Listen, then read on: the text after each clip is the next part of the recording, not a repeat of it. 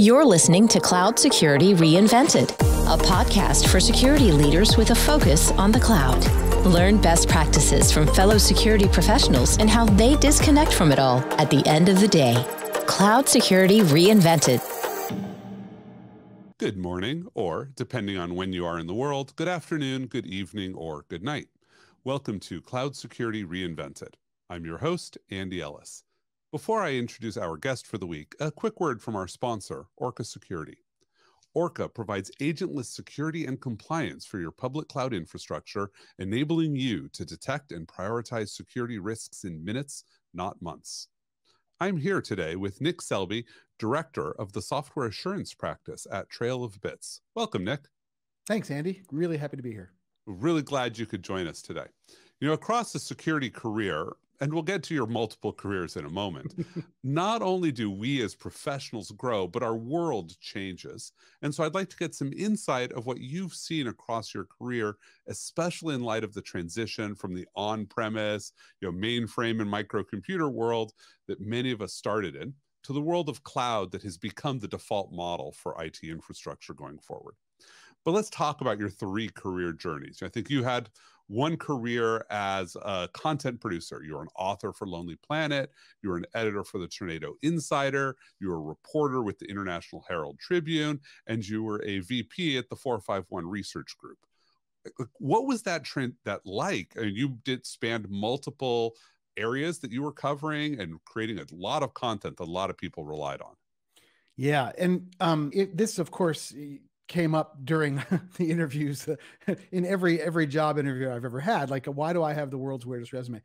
I I tell a story that's a little bit different. That um, essentially what my career has come down to is explaining really complex things in a very simple way to people who have an interest in in understanding them well. Tornado, you mentioned, uh, Tornado was a publication that was created by a venture capital group in the Netherlands in Amsterdam. Mm-hmm and it was focusing mainly on uh, explaining the emerging world of mobile technology to the investors who were uh, considering investments in it. So I spent a lot of time up in Scandinavia in the late 90s, early early 2000s. People as as you know as 3G. My first 3G phone call was made from an Ericsson van. Like the phone was a van, yeah. uh, like going through the streets of of uh, Stockholm. And uh, trying to explain how these technologies would change our lives. And I remember saying, in fact, that you know I would I would personally never use a phone on my camera. Like that, that's the dumbest idea I've ever heard. And the battery technology would never support it. But even with Lonely Planet, which was just a lot of fun, I was spending, I spent 14 years outside the United States, and and five of those I spent in Lonely Planet. And and if you take a look at the places I was covering, they were places that were that people wanted to travel, but they were not straightforward. And the first one that I did was uh, Russia, Ukraine, and Belarus, and spending time going to places that had not been open to foreign visitors since before the 1917 revolution. How do you navigate that in a world where everything was completely upside down? That to me, that was a really great challenge. 451, I think, was really bringing together my my passion about technology, my passion about information security, and the ability to to explain. And I think it did more for my career in security than anything else because I, in addition to just being uh, exposed to all this technology, I did 1,100 or more than 1,100 deep dive interviews with technology leaders, CEOs, CTOs, engineers, talking about how their product was going to solve problems and how it was going to do it differently from the way other people were doing it. And while they did that, how they were going to survive. And so over five years, ultimately leading the, the entire research operations team at 451, uh, digging into all of enterprise IT. I learned so much about the business of enterprise technology, but also the, the realities of engineering.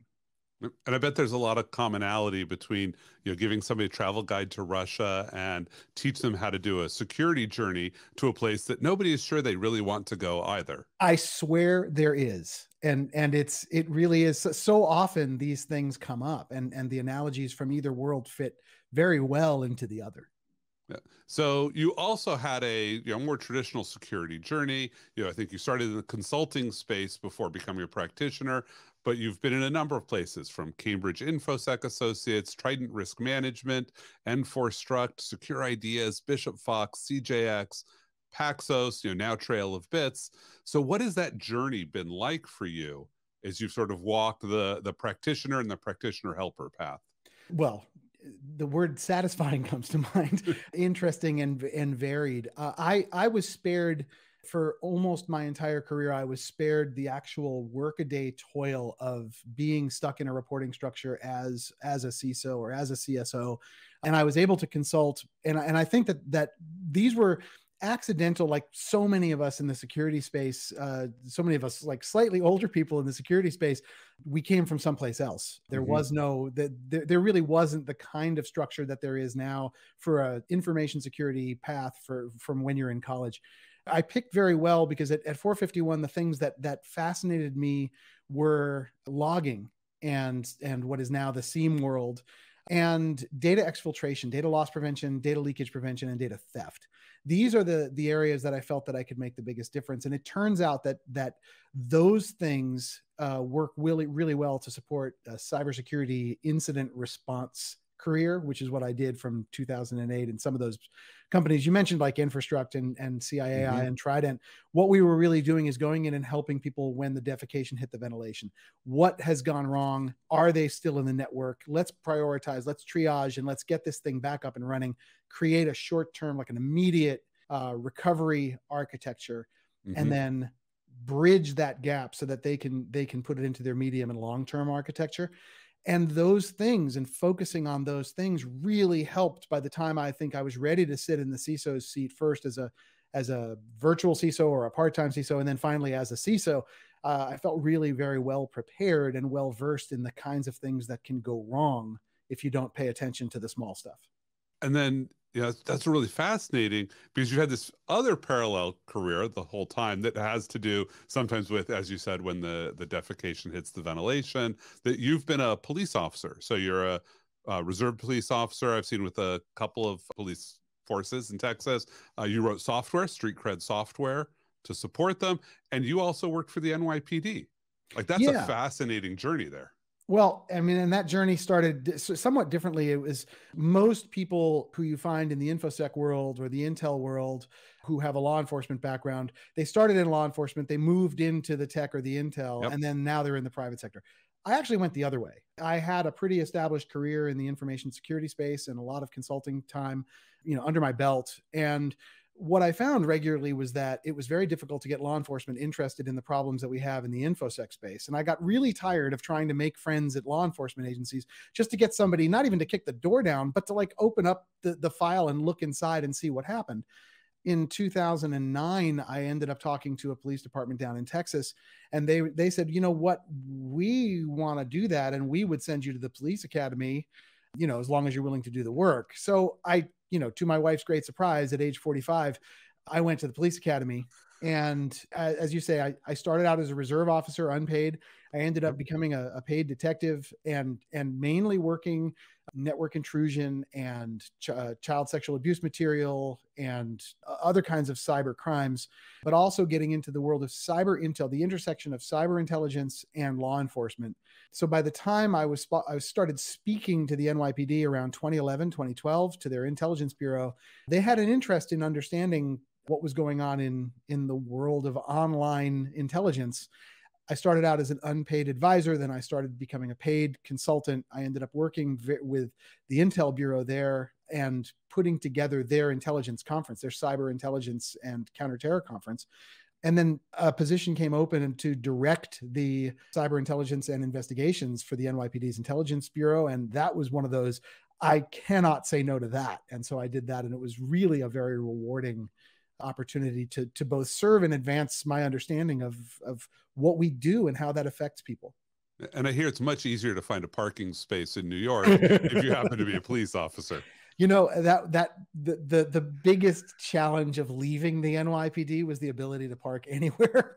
and uh, now we couldn't park in bus stops, and we we had to be very careful because there actually there's rightfully a group of people in New York who get really upset at cops parking anywhere, including bus yep. stops, fire hydrants, and on the sidewalk. But yeah, it was kind of fun.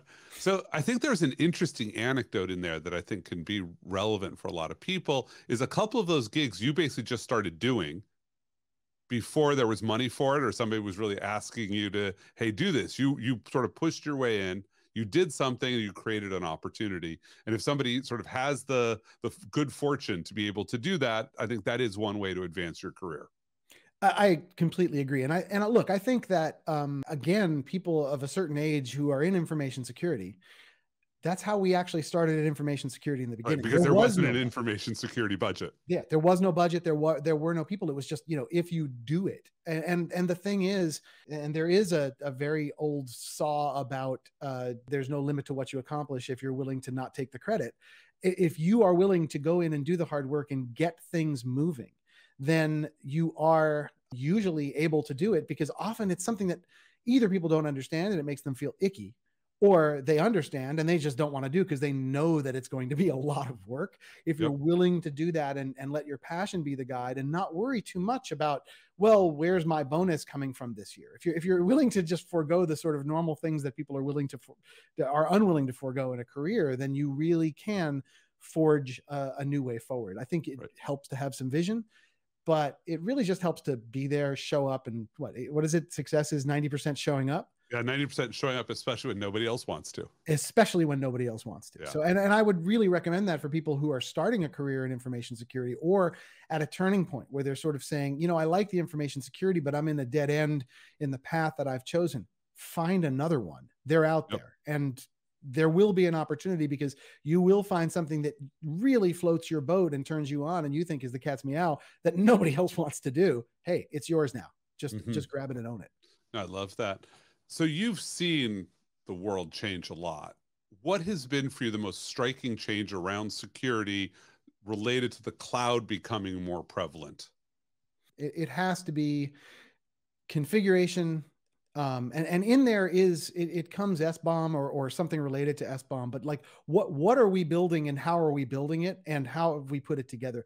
The assumption was, I think, back in you know even 2007 as people started like moving from grid to cloud and as we started thinking of of the cloud as a place and and initially it was a place of okay, this is a place where we can kind of lift and shift and and just dump our our data center and fire Bill and Bob and and just save money in the cloud. And and that was mm-hmm. kind of the initial impetus. But everybody said, don't worry, we're never going to put anything really there. important there because it's just not safe. And and over just five years. I remember in 2013 having conversations in when I was doing incidents and, and showing up and talking to boards of directors and and attorneys and, and people, CISOs, and and they were like, "Well, but that's safe. It's in the cloud." And the, the the perception just really changed. And I think as we made that shift, we did a lot of things right. Right, we figured out how to scale. I think that the the advent of AWS and and later Azure and certainly now GCP, but as we we figured out how to scale up operations, a lot of the people who are making those decisions about scaling up operations are the same people who grew up on a, in an on-prem space where the data center was in the basement. And those people, no matter what they do, they still have this bias toward the way we used to do things. And yep that doesn't fly in in the cloud world. And I've, I've said before you know when you make mistakes in the cloud you are doing stupid at cloud speed. And stupid at cloud speed is really really fast.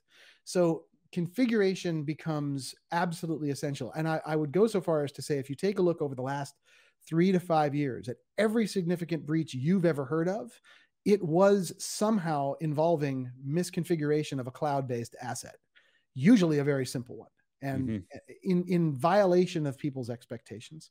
I, and I mentioned that SBOM has a place in this. You know, con- contemporary software isn't really written. Chris Swan loves to say that it's assembled Yes. And it's assembled of components.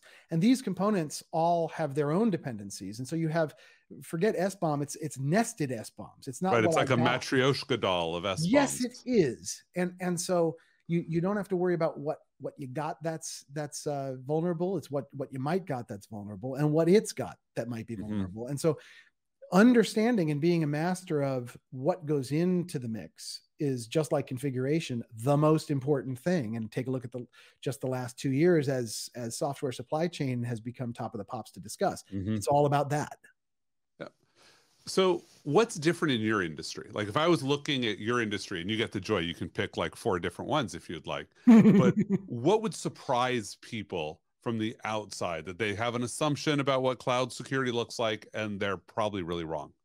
I think at Trail of Bits, uh, and really, I've, I've only just come here in the last few months, so it's it's still very new to me. And at Trail of Bits, it's a different outlook on the world for for me. I've always been jealous of people like you and and and Chris Swan, who I mentioned, people who live five years in the future. Well, I'm in that group now, and mm-hmm. that's because our clientele are in the you know the top one percent or even top half percent.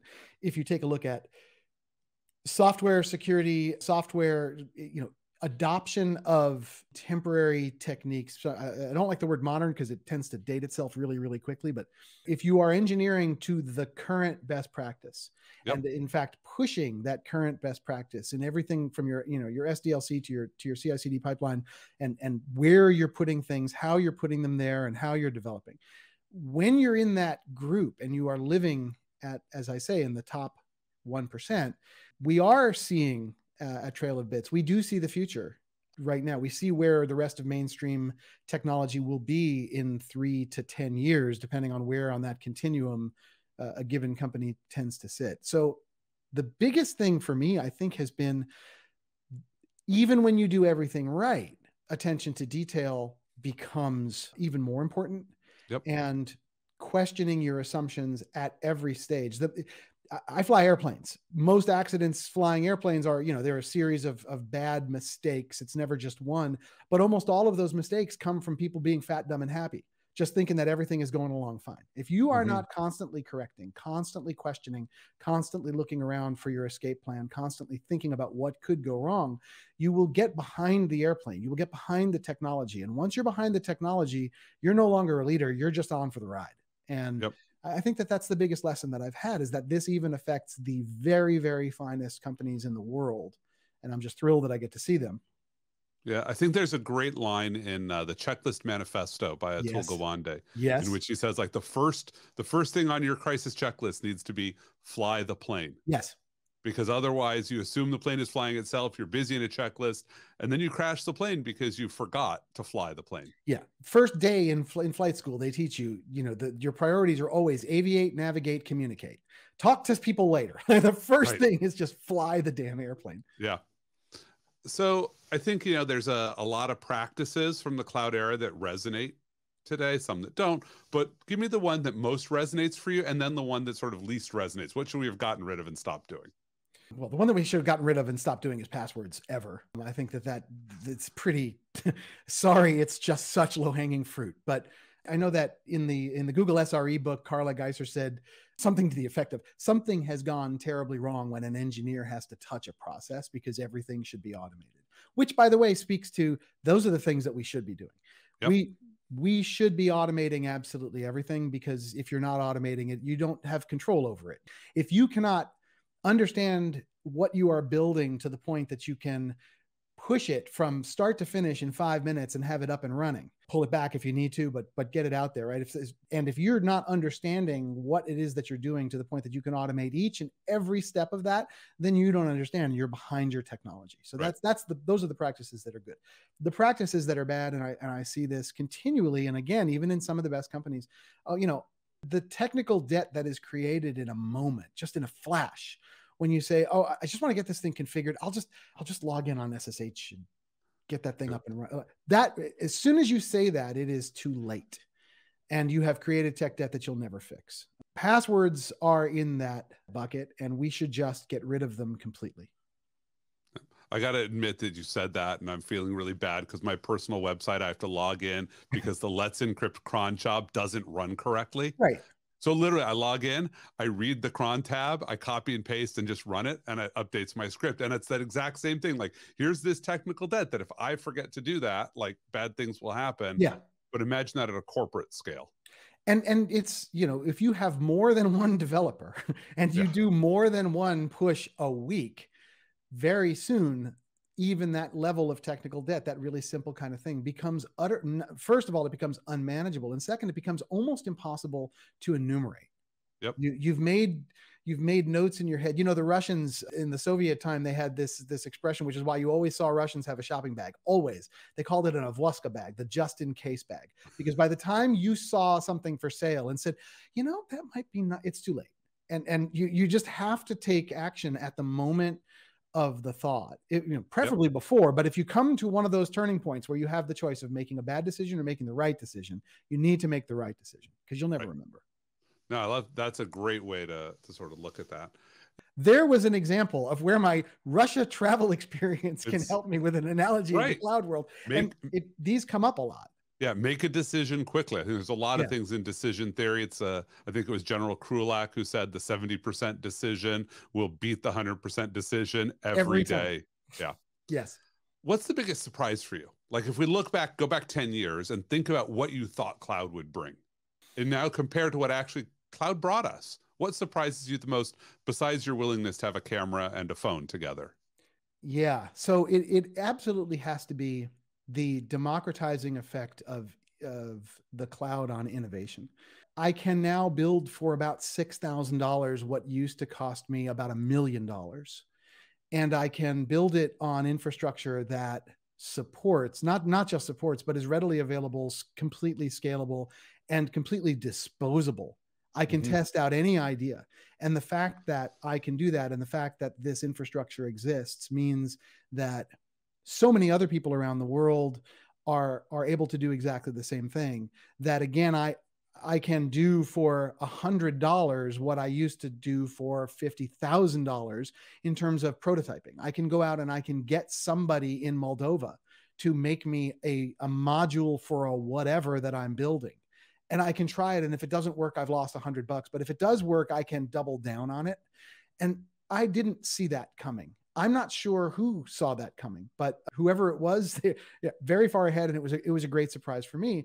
But this does come with a wicked and awesome responsibility that we we just have to deal with these things aren't free and they aren't yep. free from decision making and and responsibility and especially strategic architecture because when you can do it like that the the temptation to take my very well functioning prototype and turn that into a production application is really almost overwhelming.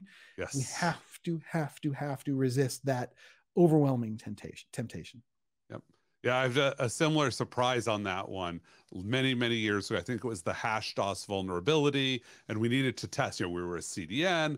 How do we test against all these different origins? Yeah, we didn't actually have a lab with different origin infrastructure. So I reached out to the IT team, and they're like, "Oh, it'll take us, you know, so many months to to build it." And uh, somebody in my organization went to you know, Amazon and like stood up a dozen different origins of different flavors. We tested them, we got results same day. And then they came to me and they said, how do I file for reimbursement? Somebody who never interacted with the expense process before. And I'm, my first thought was like, oh my God, how much money did this person just spend? $80. 97 cents. so when I got the number, I reached into my wallet, I pulled out a dollar and I handed it to them. And they're like, oh, you'll deal with the program. I'm like, no, I'm not spending you know several hundred yeah. dollars getting reimbursed a dollar yeah it's like, that that is a very common experience i think not just for people not just for people of a certain age but i think everybody who's who's in who's involved in technology at a company that has made the transition at any time in the last 10 years mm-hmm. these the vestiges of the old way of operating still really haunt us and we know how hard it is to change a corporate culture.